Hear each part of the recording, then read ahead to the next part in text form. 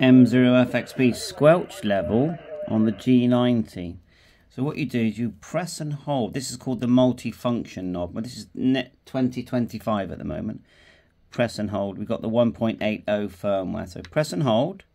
And you can actually change different things that you can adjust. Power level, key speed, RF gain. Okay. But we just want squelch. And just press it.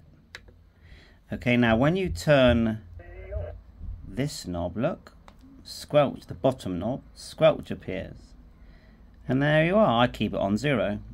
Okay, and then just press again, and then you're back to doing the, adjusting the filters there, look.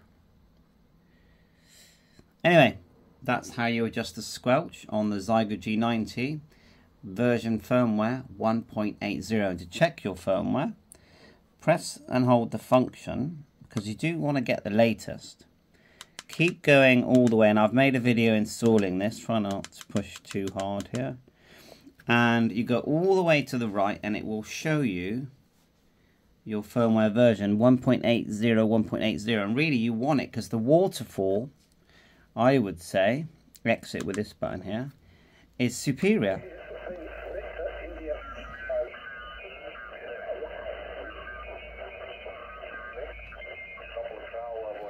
They've they've changed the algorithm. Sorry about the glare.